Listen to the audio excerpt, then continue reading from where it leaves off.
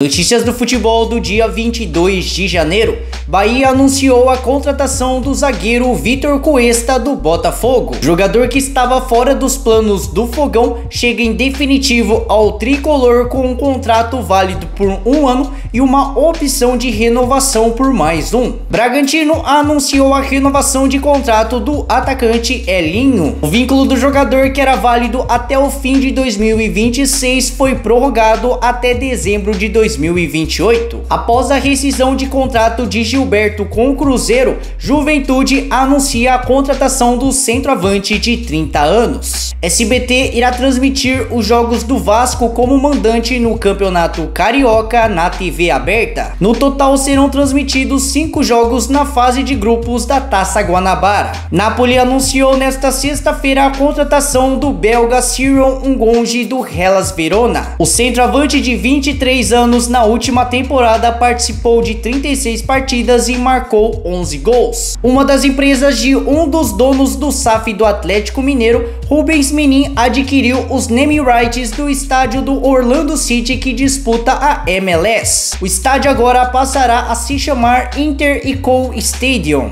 Notícias do futebol dia 22 de janeiro.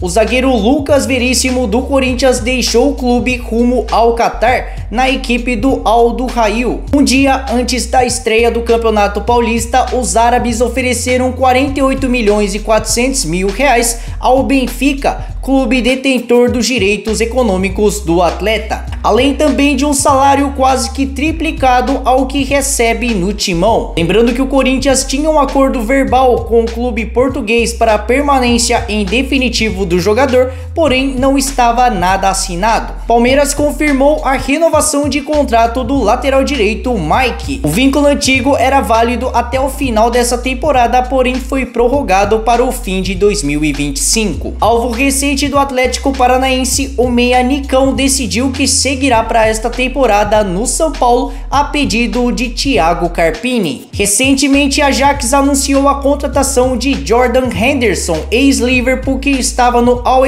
Ettifaq da Arábia Saudita. O atleta de 33 anos assinou o contrato por duas temporadas e meia, ou seja, finalizando no meio de 2026. Cuiabá confirmou acordo em definitivo com o atacante Jonathan Cafu e também com o volante Lucas Mineiro. A dupla estava cedido por empréstimo dos seus antigos clubes. Cafu finalizou seu contrato com o Corinthians e estava livre no mercado, enquanto Lucas Mineiro foi adquirido 50% dos seus direitos econômicos por 2 milhões e 700 mil reais junto ao Braga de Portugal. De acordo com o colunista Luiz Rosa, a Esportes da Sorte, que acabou de entrar no patrocínio Master do futebol feminino do Palmeiras, é um dos interessados para entrar com tudo na camisa masculina do Palmeiras. E para brigar com a Crefisa, a casa de aposta está disposto a oferecer 3 anos de contrato por 369 milhões de reais, ou seja, a cada temporada o Verdão receberia 123 milhões.